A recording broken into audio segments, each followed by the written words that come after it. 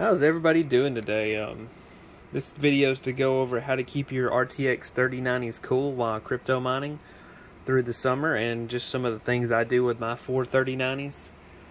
Um, I know last year I always had to throttle back the memory because everything would overheat because I like to keep my stuff under like 90 degrees on the memory in my opinion.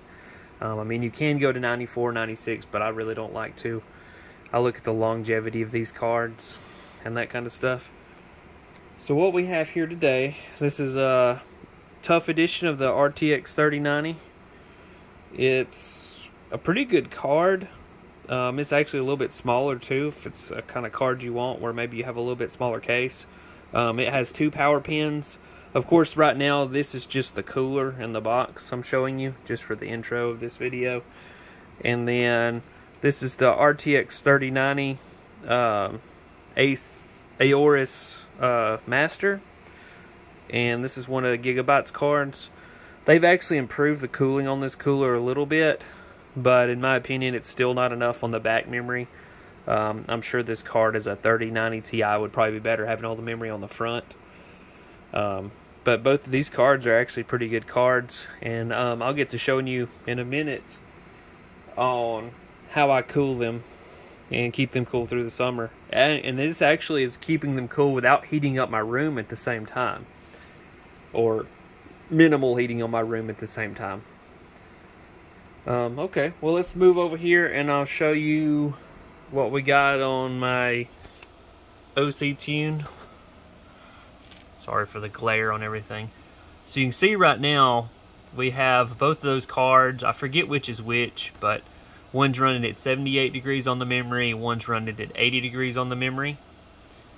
Um, they're both running at 1300 megahertz, and they're both getting about 122 to 123 megahash, and they're extremely stable in this configuration.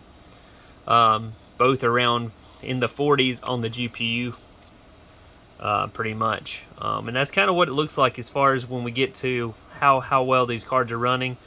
Um, I think the whole, both these cards together, they show 290 on the power, but they're really pulling about 350 to 370 each is kind of what they're, the true power when you look at at the wall. Um, I have power meters on all my rigs, so I kind of monitor exactly how much power I'm pulling on each circuit. And we'll go back here. This is thing is kind of in an odd spot but when you see how I have it connected, you'll understand because it's really close to a window. Because the whole key in this is to water cool everything, but not make my my uh, my room in here because this is just my media room where I have my projector because I don't want it to be a million degrees. My wife doesn't want it to be a million degrees either. Try to get down here so y'all can see. So you can see right now, and I'll have a lot of this stuff linked in the description if y'all want to buy any of this stuff.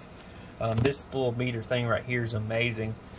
Um, pretty simple little thing.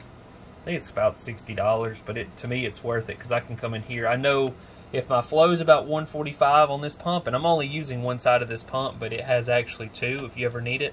Because I do have a lot of hosing in this. So the fluid's running about 96, which really is amazing um, for this setup. And you can see both of these are just right beside each other. I should have got this little tube a little longer, but they, it actually all works out pretty well. Um, you can kind of see both. And this is water cooled on the front and the back. And that's why the memory is so so uh, cool on this whole setup. Um, let's see. So what we're going to look at now is how we cool this radiator wise. Um, so I use an AC Infinity fan in this setup also, and I'll show you that. But here we go look right here at the window. And this big, it's a, forget exactly what brand, but I can put the brand in the, um, actually no, it's Titan Rig. Titan Rig is the, the rig, is what this is called. So it's a, a fairly large radiator. Um, the fans I think I got on Amazon. Um, I can leave a link to those if anybody's interested. They're just high pressure fans. You can actually feel the, the air pretty good going through them. And then these other two radiators are actually going to my other rig over here. And this is my uh, Threadripper rig. Um, these run a little hotter because they don't have as good of a radiators because they're they're running off of these two radiators right here, which aren't quite as efficient as that big uh, Titan rig one up there. So you can see all the fans on them. These have fans on the other side, so they're sucking the air. Uh, but they're still running. Let me see. They're still running in the high 80s on the memory, which is fine. Um, I can show you that because we were looking at room uh, temperatures on the other the other two right here.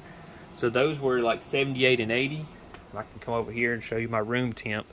The room's still a little warm because I got other cards in here, but still the temperature outside is probably in the 80s right now. And the room temperature is 78.6. And that's with minimal air conditioner on right now. So this room, to me, is still comfortable for what it is.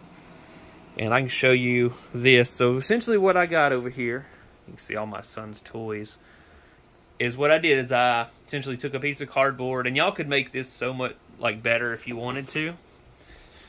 Me pull this. This is my projector. You can see this thing is just sitting in the window like that. So we're sucking in air there. So we're sucking in outside air. So we're not using the room air to cool through the radiators. So you kind of keep the air like separate. Because I know you can get a humidity and all that stuff if you really allow air to come in like that. And it can be kind of annoying. So the hose just runs under here. And this is an AC Infinity, essentially just blower fan. These are like used for grow tents. And that's all it's doing. It's pulling in out outside air all the way around. And I like making stuff out of cardboard because it's cheap. Um, and one second, and I can show you this right here so you can see when it's turned on. Right now I have it off because I don't want it making so much noise. But let me see here. One second and I'll lay this down and I'll show you what it looks like in the window.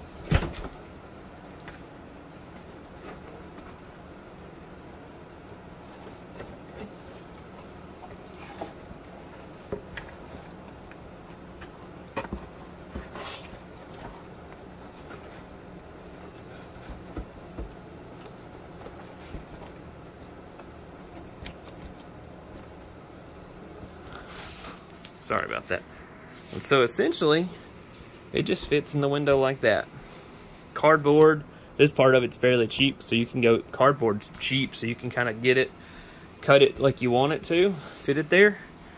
So essentially, we got over there pulling air in from outside, bringing it through, and blowing through really between four of these 3090 cards is probably like 1300 watts of heat so that's 1300 watts of heat that's not even going into your room. So even if you had like, you got four, really you could probably do more depending on your window size. And really you just need two windows to do this, to one to pull air in, one to blow it out. And you could cool a good bit of stuff if you get enough radiators that can fit in a window to do it. And then that's without heating up your room and your house. So this that works out very well for that. Um, so I'll leave everything, a link and everything that I have here in the description. So essentially, if anybody has 3090s and they want to cool them off, and this even works even for like this right here, because I still can use this for gaming and stuff at the same time. So it's still amazing for cooling for that. Um, and I mean, I actually enjoy how this whole thing works. Um, I can leave a link to a lot of this stuff in the description. If y'all have any questions, y'all can let me know, or where I got any of this stuff. But is a very good way to cool everything. And um, let's see. I'm trying to think if there's anything else I need to look at or go over, but I think that's about it.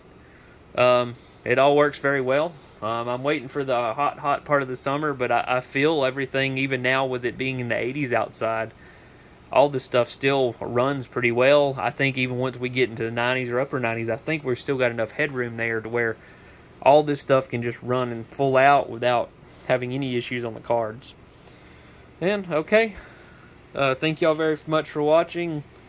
If you like this video, please like it. Um, that shows me that the content I'm making is worth it for the community that's out there for this kind of stuff.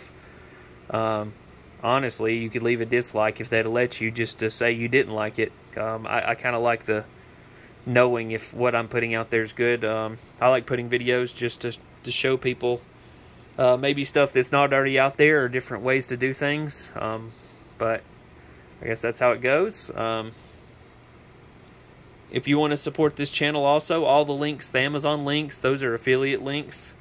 And just by clicking on them, you actually support my channel. You don't even have to buy anything if you don't want to buy anything. But just by clicking on those links, it, it gets traffic through there. Um, okay, thank y'all very much, and y'all have a good day.